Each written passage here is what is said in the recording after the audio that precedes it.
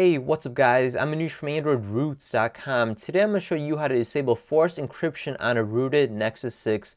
Um, I know people from time to time say they see lagging here and there on the Nexus 6 and many custom ROMs and kernels for the Nexus 6 require you to have an unencrypted device before you can even flash the ROM or you will run into issues. So today I'm going to show you how to unencrypt it. It's pretty darn simple on a rooted Nexus 6. And of course, if your Nexus 6 is not rooted yet, go ahead and check out the link down below in the video description on how to root the Nexus 6 on Windows, Mac, and Linux. Um, so I'm going to go ahead and go into settings. You can do this too if you'd like to show you that I'm encrypted right now. So go into settings, security, and as you can see under encryption, uh, encryption it says encrypt phone encrypted. So it'll say something different after we unencrypted. So that's a little bit of proof that we are encrypted right now. And now go ahead and everyone go ahead and go down to about phone in settings.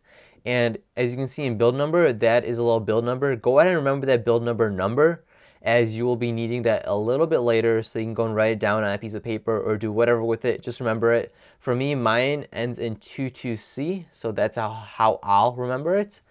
Um, now go ahead and go to your Chrome browser or any web browser and we're going to download a file.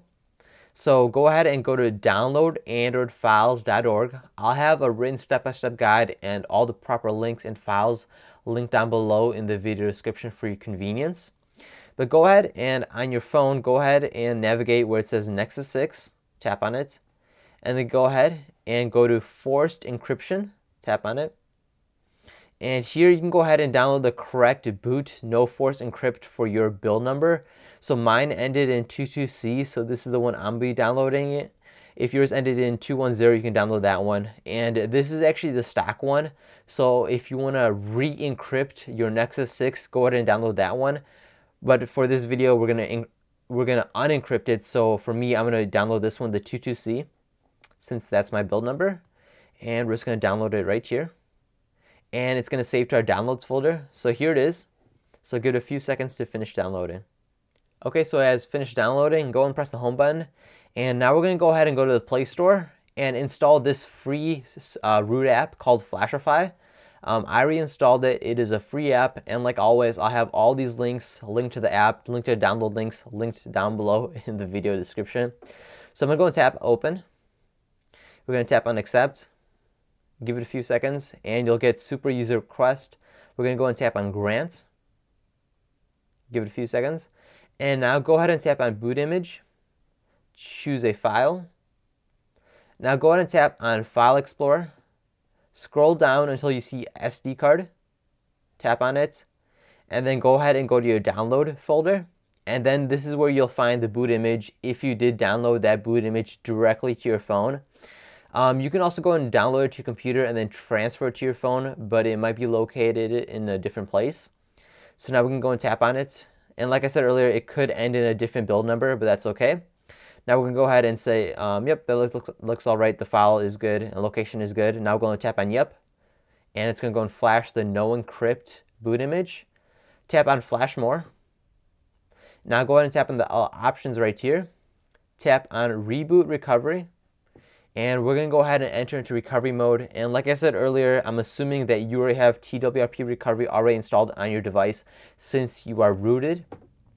And if you're not, you can just go and do a factory reset. We're just going to do a different method. Um, but within TWRP recovery, I'm sure you're using this. We're going to go ahead and tap on wipe, format data, type in yes to confirm it. And this will wipe everything off your phone, music, movies, pictures, all that stuff will be wiped off of your phone. So if you haven't, go and tap on the home, reboot your phone, back it up, any important information before you continue on. Um, then we'll go and tap on go. And yeah, I get this issue. It says unable to format data and all that. If you do get this issue of where it says it's unable to format all this data partition and all that, tap on the home, tap on reboot, tap on recovery, and this is to reboot ourselves back into recovery, which will fix the issue.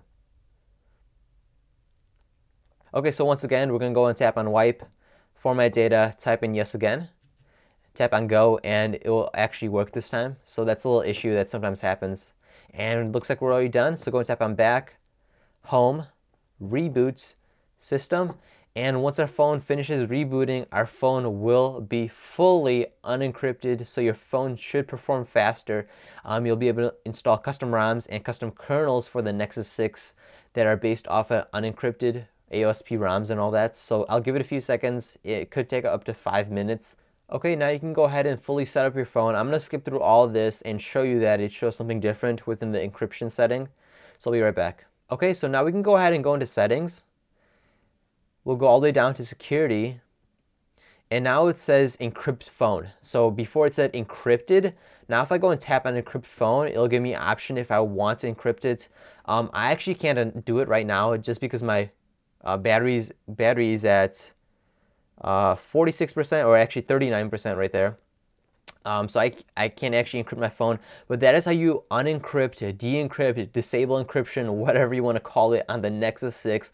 Um, it's very straightforward, very easy, no computer required. All you need is root access and you'll be good to go. If you guys did enjoy this video, be sure to like this video in the bottom left corner. And while you're at it, go ahead and hit that subscribe button as I'm going to be having more Nexus 6 videos coming out in the very near future as well. And don't forget to share this video on Twitter, Facebook, and Google Plus using the share button down below. Until next time, Peace.